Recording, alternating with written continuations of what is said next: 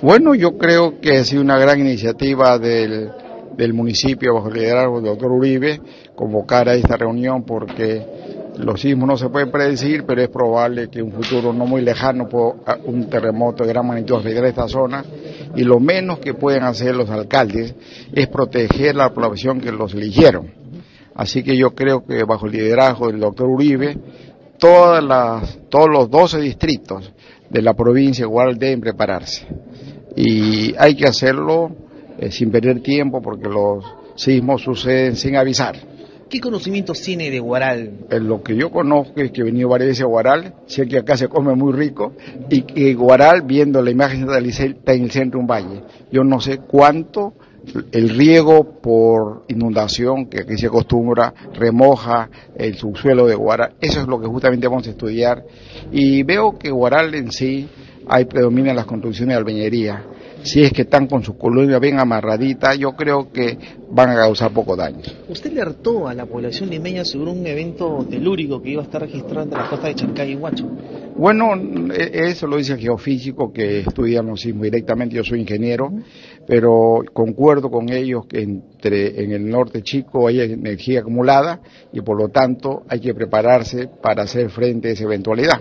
Ah, ingeniero, eh, Usted ha manifestado algo muy importante que nos parece a nosotros sobre las edificaciones que no deben estar sobre arena ni sobre piedra.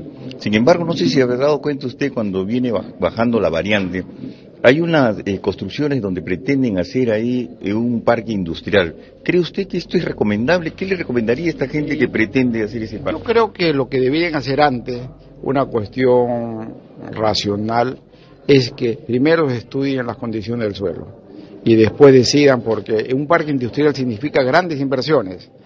Y si ese suelo amplifica mucho las ondas sísmicas, pues en el futuro van a, van a perder por los daños que ahí puedan ocurrir. Que estudien primero y después tomen su decisión.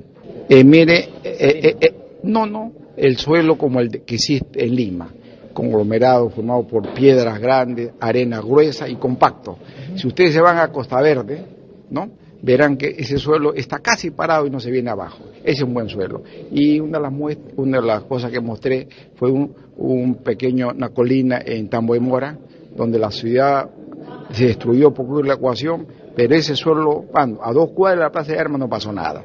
Así que se puede estudiar con anticipación el efecto que va a tener los terremotos. Por ejemplo, nosotros estudiamos con el programa Ciudad Sostenible, INDES y PNUD, el mapa de peligros de Pisco. Y cinco años más tarde, 2007 a 2007, 2002 a 2007, los daños ocurrieron de manera más severa en los sitios que indicaban peligro muy alto o alto. ¿Cuál sería el mensaje que usted le da a estos señores que están posesionados en el Serpentín de Pasamayo? Que tengan cuidado, que no se dejen engañar por traficantes de terrenos.